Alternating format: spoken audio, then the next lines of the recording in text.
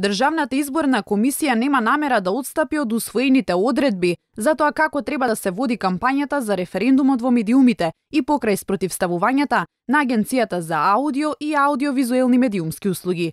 Ова во телефонски разговор за Канал 5 го посочи председателот на ДИК Оливер Дерковски, Дециден дека остануваат на ставот за почитување на одредбите за начинот на медиумската јавна пропаганда кој ги содржи правилникот за организирање и спроведување на референдумот.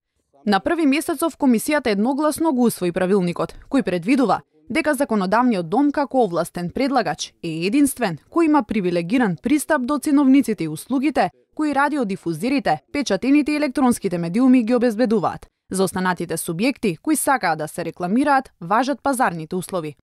Со за медиумско представување, кое го усвои АВМ предвадена, медиумите добиваат дополнителни 9 минути за јавна пропаганда во еден час. Времето за платено рекламирање да биде подеднакво поделено за и против референдумското прашање. За разлика од Државната изборна комисија, агенцијата е на став дека сите учесници во кампањата треба да имаат пристап до медиумите под еднакви услови. Дел од правниците се согласни дека и покрај овој костец, медиумите треба да го почитуваат правилникот донесен од комисијата, кој се води како подзаконски акт и е на повисок степен од упатството на агенцијата. На овој став е и Канал 5 телевизија, која во целост ќе ги почитува одредбите за јавна пропаганда од правилникот на Државната изборна комисија, а не упатството на Агенцијата за медиуми.